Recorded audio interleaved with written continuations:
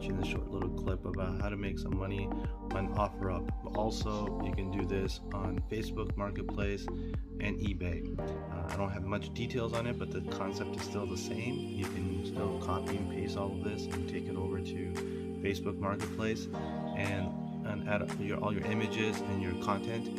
And the same thing for eBay.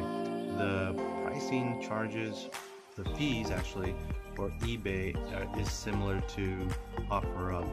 Uh, Marketplace is relatively, I believe, a little cheaper, uh, but you get a, a broad audience uh, on Facebook Marketplace. But if you can, I will spread it across all social medias to capture as much as possible.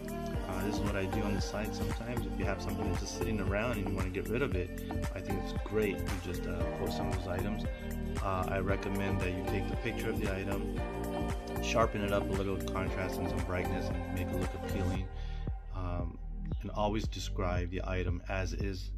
Don't try to be cutting corners or anything like that.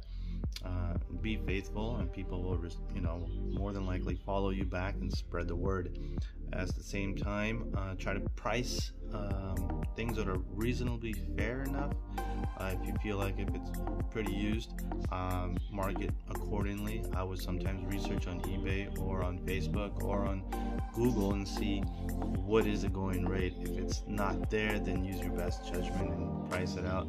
Um, sometimes I think like offer up should be called offer down because nobody really offers up. That's just my input. I hope you enjoyed our videos. Um, try to make more. If you have something to say positive and something I can do to improve, I subscribing.